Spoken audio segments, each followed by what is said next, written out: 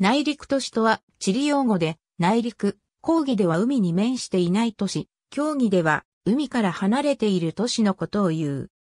講義では海に面していない都市を言い表すが、競技では海から遠く離れている都市のことを指す。例えば、札幌の場合講義では海に面していないため、内陸都市となるが、競技では石狩湾に近いため内陸都市とならない。沿海部から土地の開発を行った地域では、内陸都市は交通が発達している港湾都市に比べて経済の発達が遅れていることが多い。特に中国やオーストラリアなどではその傾向が強い。反対に戦乱が多かった地域では、攻められにくい内陸部の盆地などに都市を築いたという例もある。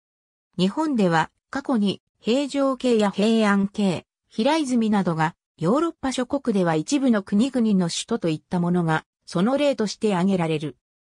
20世紀ではパキスタンがインドとの国境紛争への迅速な対処とアラビア海、沿岸部の防衛強化、さらにプライメートシティへの一極集中の是正などの問題から、港湾都市である最大都市の旧首都カラチからカシミールに持ち帰、内陸部に新首都イスラマバードを建設し、遷都した。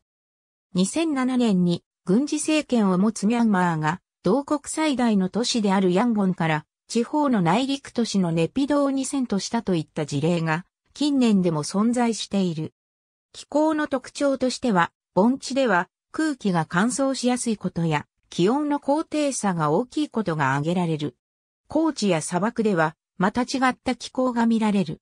詳細は、内陸性気候を参照アリススプリングス。